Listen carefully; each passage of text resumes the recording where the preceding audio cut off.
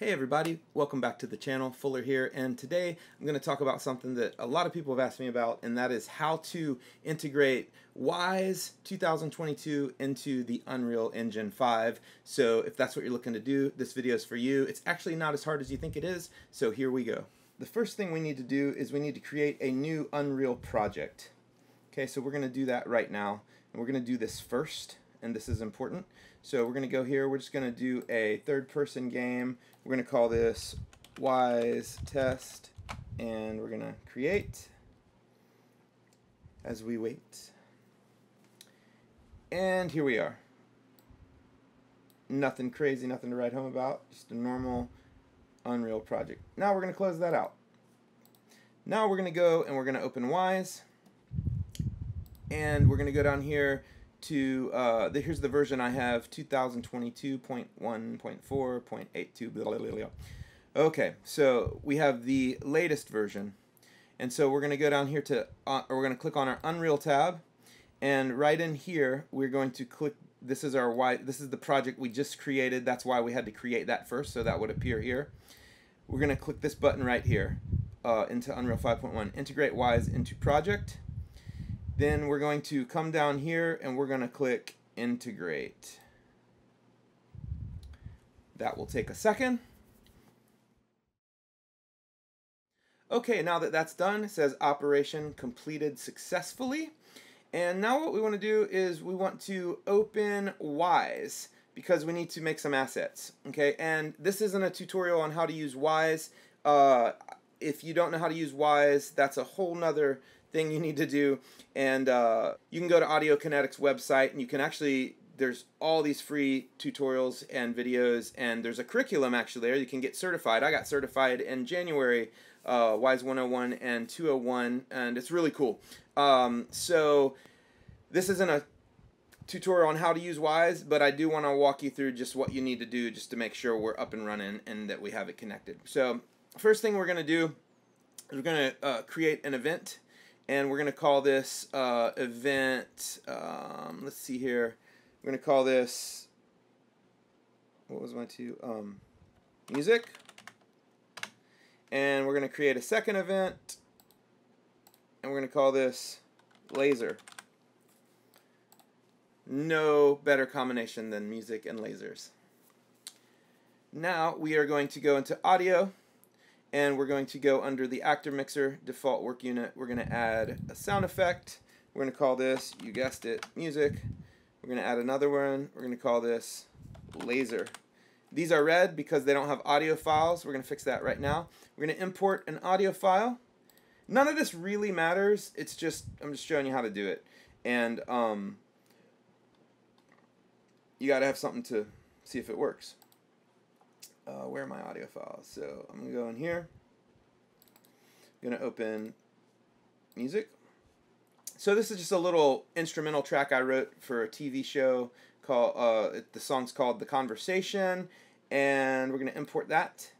And now music is blue, and we're going to do the same for laser. We're going to import audio files, add files. We're going to laser rifle B. This is a sound effect I made for my buddy Jesse's uh, VFX course and let's go up to layouts to the designer layout. And we are going to under event or actually we're going to go yeah we're going to go to the designer layout. Down here you can see the events. We're going to click on laser. And then we are actually going to drag over the laser audio to there. And that's going to play when that event is triggered. It sounds like this. Yeah. Oh and you know what? Let's do this too. Let's automate Let's enable the randomizer. Oh, I didn't save it. Hold on. Let's go. There we go. Negative 2a. Actually, you know what? Let's do it even more drastically. Let's go up. Here we go. Okay, so you hear it changing pitch. And I just wanted to put a, a filter. I, I wanted to put some sort of Wwise logic in it so that we can test it make sure that's working in Unreal. Now let's go over to music. We're going to click on that one and we're going to import, um, oh, I'm sorry, I'm on the wave, and that just sounds like this. Okay, now what we're going to do, we're going to go to the music event and we're going to drag that audio to there. So now when this event plays, and we don't want to do anything to that. So we have our two events with audio. We're going to go over here to sound banks and we got to create a sound bank. We're going to go uh, new sound bank. We're going to call this main. You can call it whatever you want. Um, just got to make sure you remember what it's called. Now we're going to click on main and we're going to drag these events. We're going to drag laser and music. Now when we click on our main, we'll see that that includes those two events. Then, let's save that. Now we're going to go over here and we're going to export the sound banks. We're going to generate all, and that's done. Now, in theory, all of this should have just migrated over to Unreal 5. So let's see if it does. So we're going to, let's keep Wwise open for now. We're going to open Unreal 5.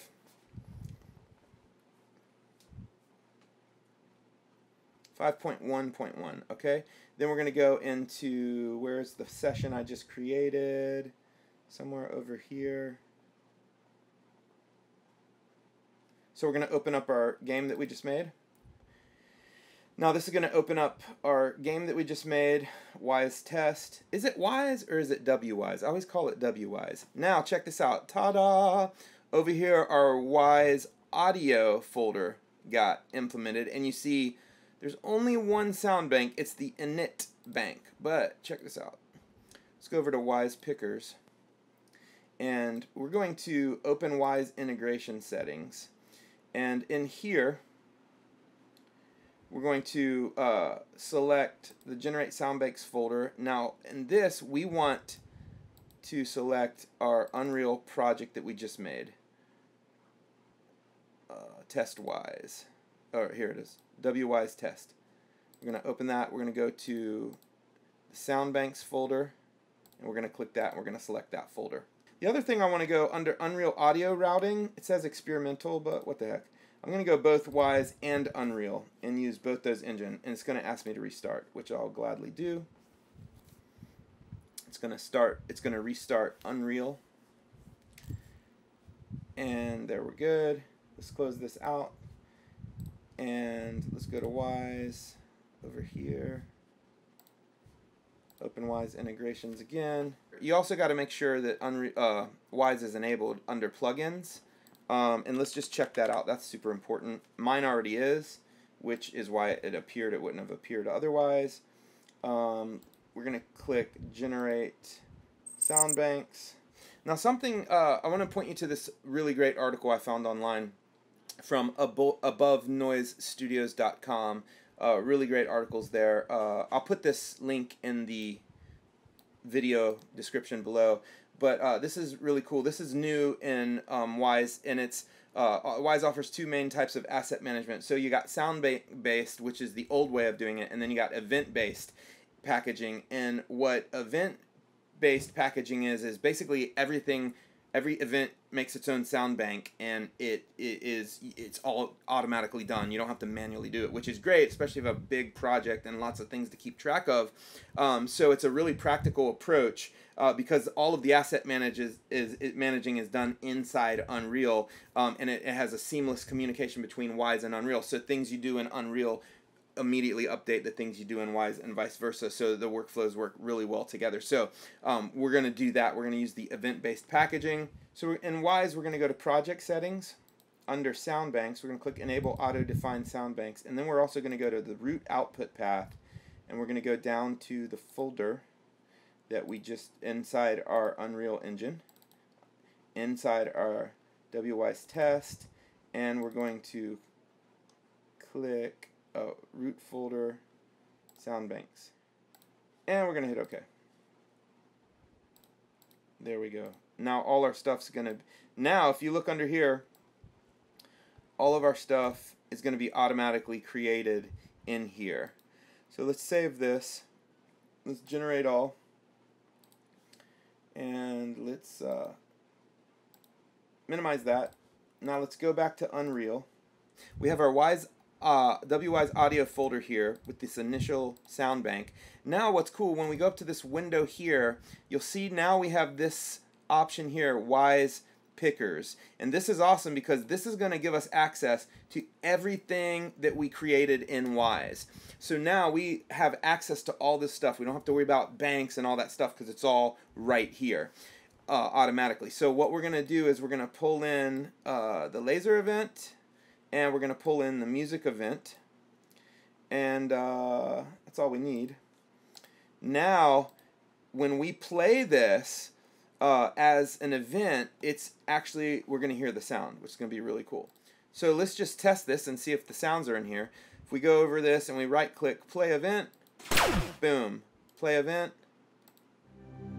there it is. Stop event. Okay, so now we've got our assets in our game from Wwise, and what's cool about this is anything we do in Wwise, and once we hit refresh and update, it's going to automatically update this picker, which is going to make things really easy. Now we're going to go into the game, and we're going to uh, bring these sounds in, and here's what I want to do. Okay, so now we're going to bring these events into the game. So the way we're going to do that, we're going to open our blueprint level. Okay, so we're going to click uh, event begin play. We're going to drag off here. We're going to post event. And then uh, this is audio kinetic, as you see. Now um, that Wwise is installed, we have this audio kinetic menu. So now we're going to post event. We're going to select music, and that's all we need to do. Now we're going to store this, compile this, and fingers crossed when I hit play. And there's the music playing in our game. Sweetness. All right, cool. Now, let's get out of there. Now, we're going to have a little fun. Let's create a new blueprint class, actor. We're going to call this BP Fuller's Laser. I'm going to double click on this. Let's just create a cube. That's all we need. Let's make this a little smaller. Let's go half. Now we got our cube here. And that's all we need for that. We're going to store that, save it, boom.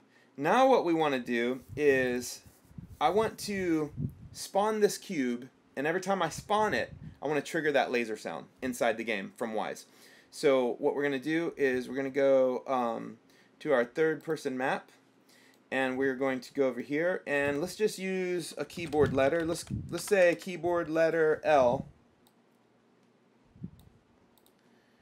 When I press this, I want to spawn an actor, oops, from class.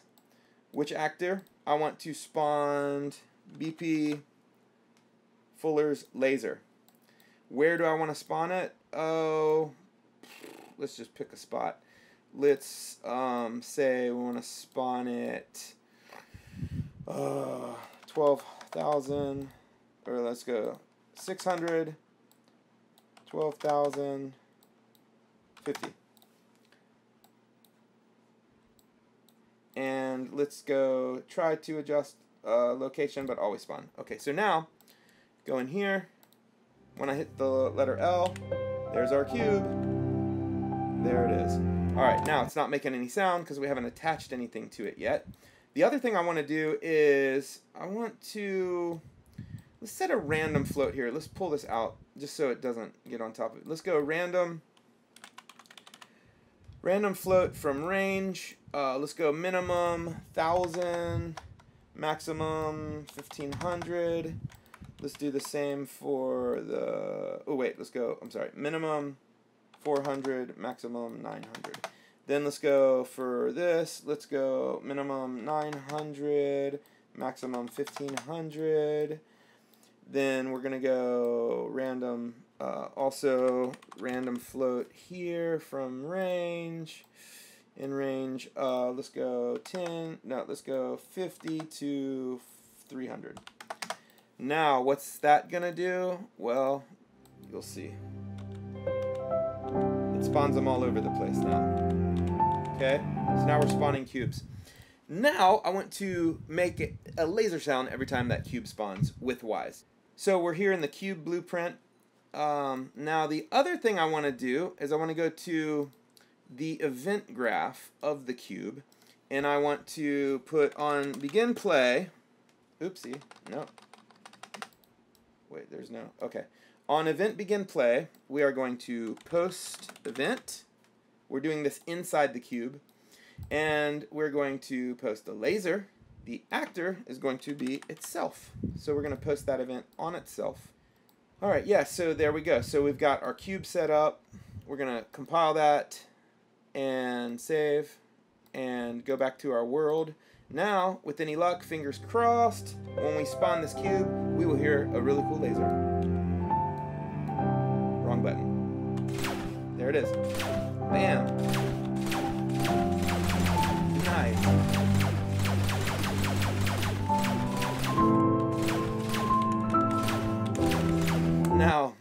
One thing I also want to do is let's give this a lifespan. So we want to trigger a lifespan here. Um, set lifespan to, uh, let's go two seconds and then you're gone. Okay, so there's our lifespan. So now, every, after two seconds, they're going to disappear.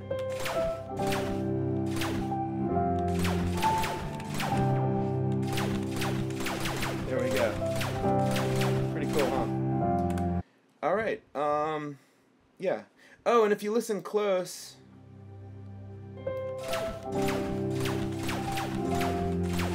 it's changing pitch. So it's actually uh, doing what we told it to do in Wwise. And actually, you know what? Let's go back to Wwise and let's just tweak this event a little bit. So we're going to go to um, audio, music, or we're going to go to this event, music, and then let's go to layout, uh, designer. Um, we're going to go to music event. Now let's, um, let's randomize this. Let's enable randomizer and let's offset this a little bit. Boom and boom. So now this is going to be pretty noticeable on the music. So there we go. Let's uh, save and let's go to sound banks. Generate all. Now this should update in unreal for us so let's close this out because i think we're done with that. And then let's go to Wwise picker and let's hit refresh and generate sound banks that little bell means that something good happened. Now let's try it. Oh yeah. It has totally pitched it. Now again. Yeah. So it's working beautifully. Um, every time we start the game, that random pitch comes in. And um, so there you have it. So that wasn't too complicated. Um, I do want to push you to those resources I mentioned earlier. There is a link in the description of the video, but that's kind of how you get up and running with the Wwise, the latest version of Wwise, and Unreal 5.1.1. Now I haven't tried this with Unreal 5.2, but I am assuming it works perfectly. Uh, if I have any issues with that, I'll let you know. But anyways, hope this helps. Thanks again for checking out the channel. Uh, please like and subscribe, and we'll see you in the next video.